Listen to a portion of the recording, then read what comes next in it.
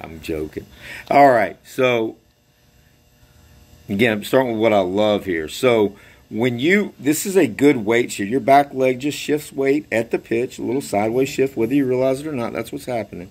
And when you're right there, that is a perfect hitting position. There's not, if you watch the World Series, the Major League playoffs right now, there's not a single player in a better position than you're in right there. It's that good. The fact that you are right there and that good, you should crush the ball. Now, what do you, is there? What do you think gets you to that position? Is there anything that? So if, if we take it back again, you can kind of watch how. It's just a shift, huh? Well, well, I mean, so what happens with most kids is they either get wide with their elbow or the bat gets flat or wrapped behind them. Like right now, Hayden's kind of wrapping her bat a bit. Now she's doing good off the tee, but she's wrapping her bat.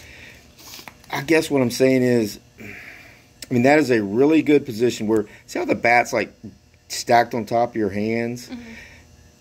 Okay, we'll talk about that in a minute, but I'm just letting you know that is is my a bat like not getting quick enough? no. It, it's it's perfect. It's gorgeous right there. I'm telling you, that is gorgeous. You might could maybe just relax the lead arm a smidge, but overall, that's a beautiful position. The other thing that's happened is your back leg has made that little shift to the front side.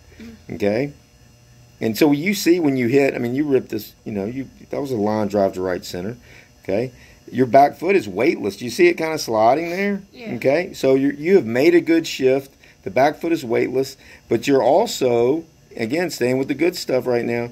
You're also in this kind of, uh, you know, tilted position where you're back. So your back foot, there's no weight on it, yet you're balanced behind the front side. And we talked a little bit about that last year. So we want that little shift you're making, right? But at the same time, we got to be in that like that lean back tug of war position. So, long story short is a kid that that makes the good shift like you're doing, and her bat is in that position where it stacks on top of the hands like that, should crush, crush. That is a beautiful position. Okay. Um. So I want to just stay with the positives right now and see if uh, you can get an understanding of, of the good stuff that's going on. Okay, so